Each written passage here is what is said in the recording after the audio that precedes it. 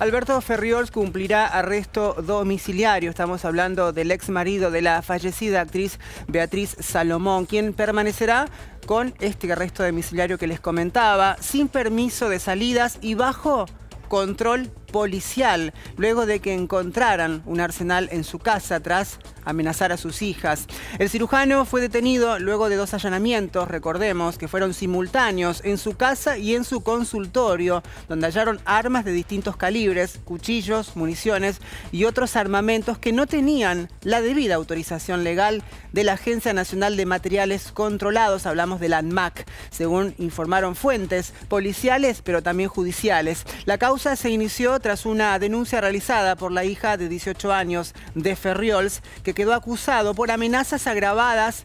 por el uso de armas y violación de domicilio en contexto de violencia de género.